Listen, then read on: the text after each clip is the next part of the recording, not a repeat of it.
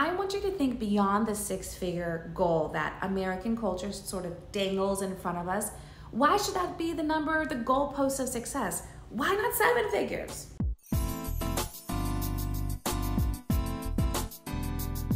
All right, so I want to introduce you to a woman who really rocked my beliefs to my core about career and money. She's part of the reason why I left my successful news anchor career behind to become an entrepreneur. Rachel Rodgers. Rachel is the founder of Hello Seven. She's an attorney, self made millionaire, business coach, mom of four kids, and unapologetic about the fact that she wants us to be millionaires. She specifically wants to help historically, systemically marginalized folks build wealth through entrepreneurship. She especially loves to see Black women build wealth I first discovered Rachel and her podcast, Hello Seven. The way this woman talked, I mean, I related to her. She knew the shame of poor, the vulnerability of being broke. She had real, raw passion for people of color getting rich, people of color getting rich. Who talks like this?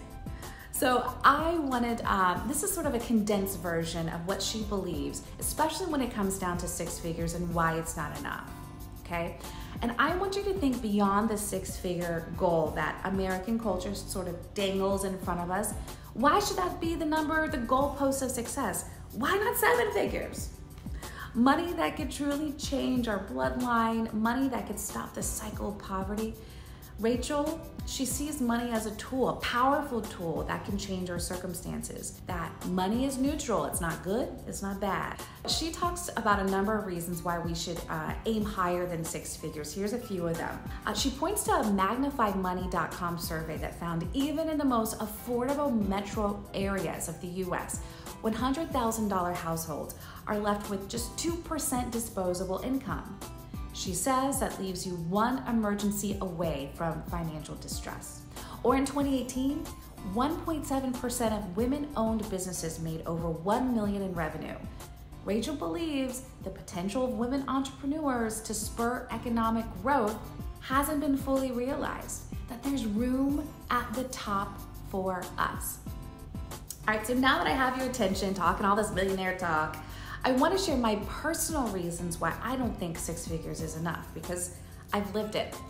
Now, that's a good goal, okay? I don't want to just down that goal. But for me, when I got there, it wasn't enough. Like, yeah, I contributed to my household and, um, you know, set my family up. But when I say six figures is not enough, I mean, I also need deep purpose in my work. It was still hard getting out of bed making six figures. I really missed my kids making six figures. I had a million ideas I wanted to execute outside of my job making six figures. So I went to God and said, All right, God, this is it. I, I think my mission is accomplished, accomplished here. I'm not fulfilled anymore. What's next? I believe your plans for me are good, and they include taking care of my family and work that lights me up and pays my bills. So, what is it? So, that conversation landed me right here as a life coach. I, it's work I love. And I plan to not only replace my six figure income, but take the cap off my earning limit to give freely, live freely, and build generational wealth for my family. And Rachel was the black woman for me. She was the evidence I needed that I too could do work that I love and make good money doing it. Maybe we can both be an example of women who won't settle for some made up salary that's supposed to keep us satisfied. No, it doesn't have to be like that. So, here are three tips to help you uh, sort of replace those limiting beliefs when it comes to money and earning potential. Look for evidence.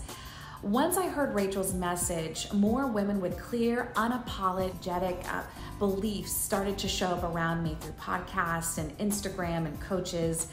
Having their voices around me really helped me believe their story was possible for me. It reinforced that. Hire a coach. I worked with a money mindset coach for six months. She challenged my limited beliefs around money, and I went from thinking I had to be tied down to a salary to believing I can create wealth no matter what the work that I'm doing. I believed in my ability to make money. And then the podcast Hello 7, 100% free. Uh, you'll hear her talk a lot about creating wealth and she'll challenge you, she'll inspire you, she'll make you laugh. She's funny. And just to believe bigger. Okay, that's it for now.